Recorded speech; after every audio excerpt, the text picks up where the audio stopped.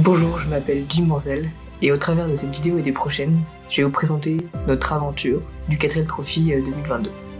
Donc ça y est, on est rentré, euh, on est rentré du 4L euh, à peu près il y a une semaine et je pense qu'il est temps aujourd'hui de, bah, faire toutes les vidéos, tous les documents pour, euh, laisser une trace écrite de cette fabuleuse aventure que j'ai vécue avec, avec Rémi, mon copilote et le pilote aussi d'ailleurs parce que c'est bien alterné. Donc là vous êtes sur la première vidéo donc, qui marque le tout début de l'aventure et qui commence par mon départ de la Haute-Savoie le 3 mai, assez tôt, on va, on va, le dire assez tôt pour rejoindre Rémi du coup à Bourg-en-Bresse et récupérer récupérer la quatrième. Donc euh, ensuite, après avoir quitté euh, Bourg-en-Bresse, on est allé jusqu'à Givry, qui est euh, un peu plus au nord, à une heure de route environ, pour rejoindre deux autres équipages pour faire la route avec eux et pas se retrouver tout seul bah, sur le trajet entre Bourg-en-Bresse et Biarritz alors qu'il y avait quand même on va dire à peu près 10-11 heures de route un trajet assez long donc après cette brève introduction je vais vous laisser avec, avec la vidéo et puis nous on se retrouvera dans la prochaine vidéo pour bah, voir toutes les préparations administratives et les vérifications techniques que nous avons fait avant de partir pour l'Espagne,